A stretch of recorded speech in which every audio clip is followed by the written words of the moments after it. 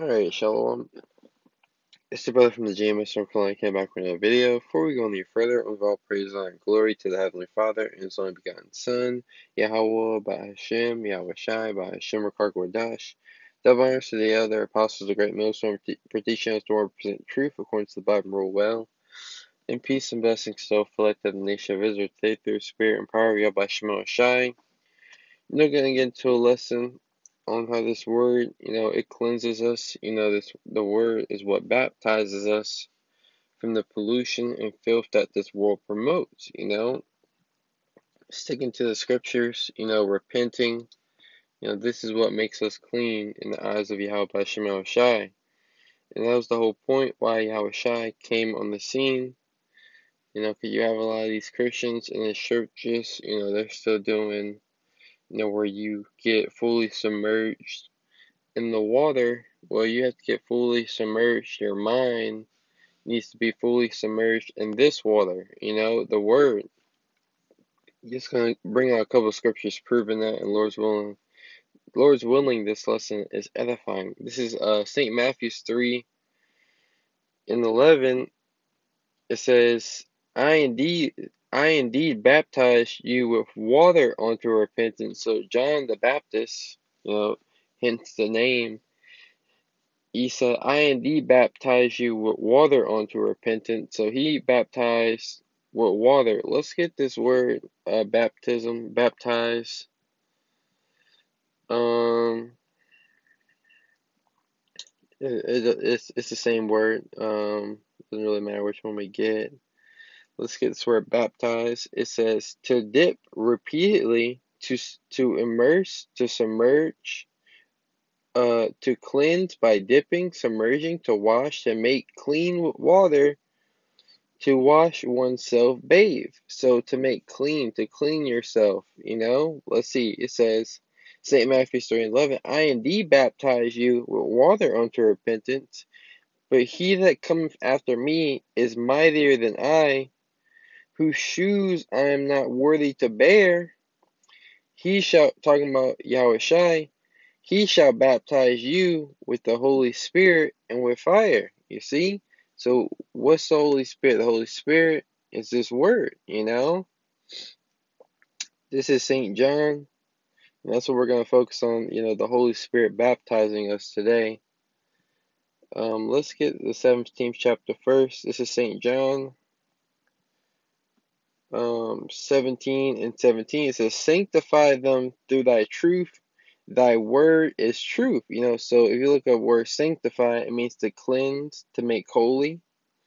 You know, let's get that. It says to render our knowledge, uh, it says uh, to separate from profane things, and profane means outside the temple. You see, to separate from profane, profane things dedicate to the Most High.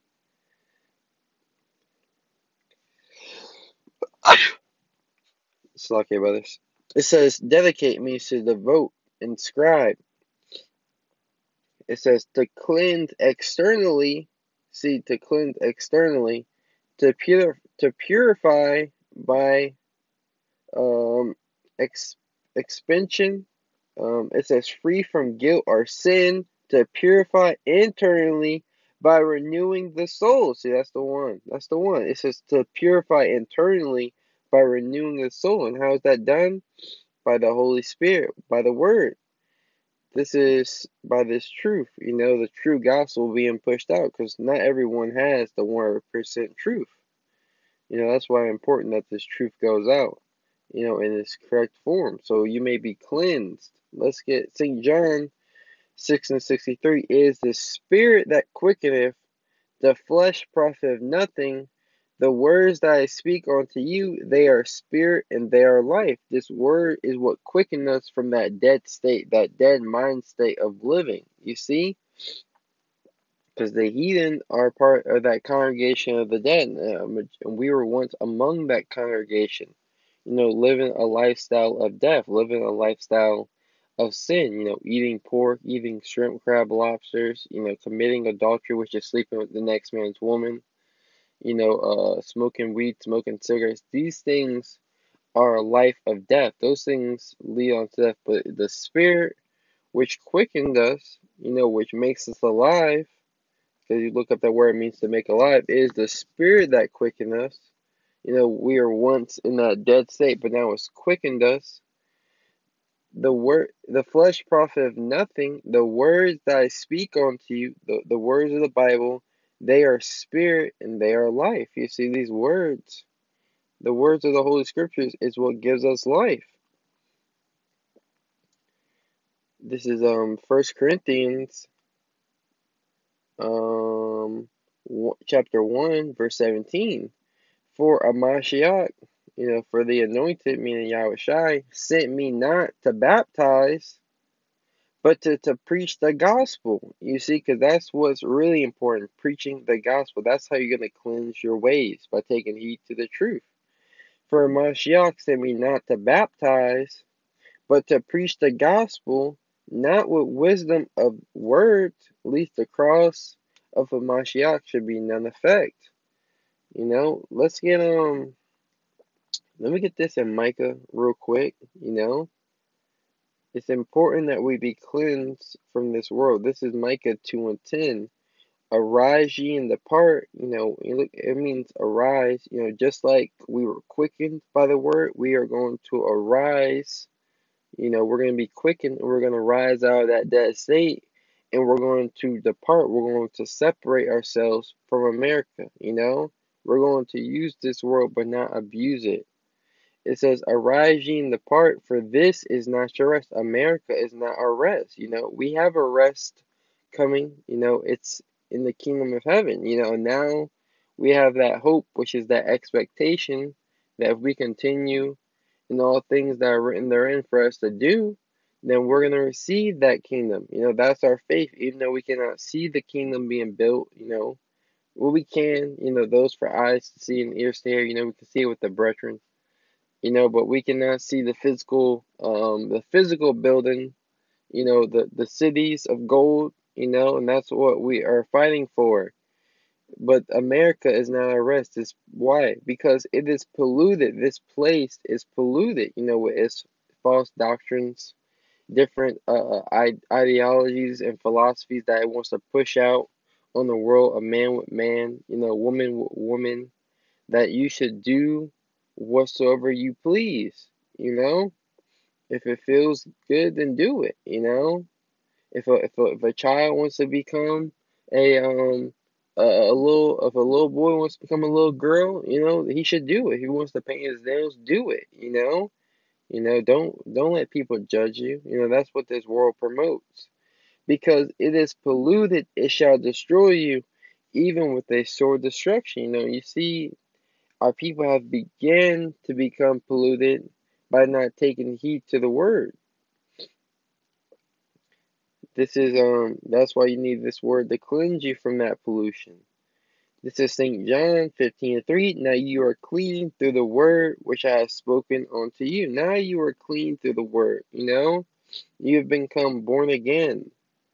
I'm going to bring out two more scriptures. I'm going to close that. Lord's willing, I do, you know, the spirits, I'm going to do a second lesson on this, you know, going into the fire, you know, how we're cleansed, you know, us getting, gaining that experience is what cleanses us, you know, like it tells you in Romans and many other scriptures. You know, I may do that if the Lord wants me to. This is um Psalms 119 and we can go straight to point, verse 9. It says, Wherewithal shall a young man cleanse his way? By taking heed thereto according to thy word. So by taking heed to to the words of the Lord, that's how you're going to uh, cleanse your way. You know, I believe uh, Shamar, if I'm not mistaken. I don't want to uh, click on it because it's going to cut out the audio. It says to keep guard, observe, take heed. So to watch, watch for it, to watch, observe, um, to um, so you're watching and you're observing to keep, to keep. You see, it says to keep, to to pay attention, to pay heed. It's like that's what I meant to say. You know, So to keep, you might actually do these things. You keep them in your mind. So when this time of temptation arise, you may arise and do these things. You see, um, you know, you know that.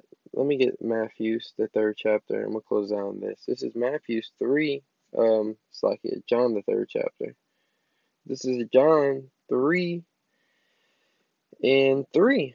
St. John chapter 3, verse 3, Yahushua answered and said, Verily, it said unto him, Verily, verily, I say unto thee, except a man be born again, he cannot see the kingdom of the Most High. Nicodemus saith unto him, How can a man be born when he is old? Can he enter the second time into his mother's womb and be born?